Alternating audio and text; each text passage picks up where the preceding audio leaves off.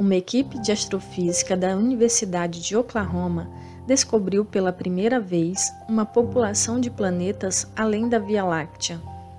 Usando a microlente, um fenômeno astronômico e o único método conhecido capaz de descobrir planetas a distâncias realmente grandes da Terra, entre outras técnicas de detecção. Os pesquisadores da Universidade de Oklahoma foram capazes de detectar objetos em galáxias além da Via Láctea que vão da massa da Lua até a massa de Júpiter. Os pesquisadores estão muito entusiasmados com esta descoberta.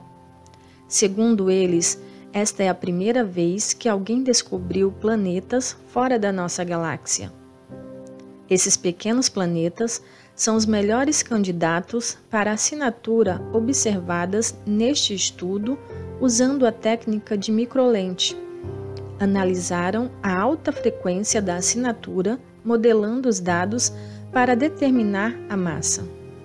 Embora os planetas sejam frequentemente descobertos na Via Láctea usando microlente, o efeito gravitacional de pequenos objetos pode criar uma grande ampliação levando a uma assinatura que pode ser modelada e explicada em galáxias além da Via Láctea.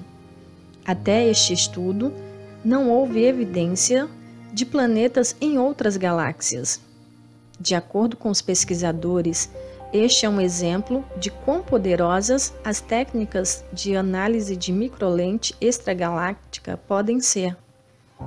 Esta galáxia está localizada a 3,8 bilhões de anos-luz de distância e não há a menor chance de observar esses planetas diretamente, nem mesmo com o melhor telescópio que se possa imaginar em um cenário de ficção científica. No entanto, os cientistas são capazes de estudá-los, desvendar sua presença e até mesmo ter uma ideia de suas massas. Para este estudo, os pesquisadores da Universidade de Oklahoma usaram o Observatório de Raios-X Chandra da NASA.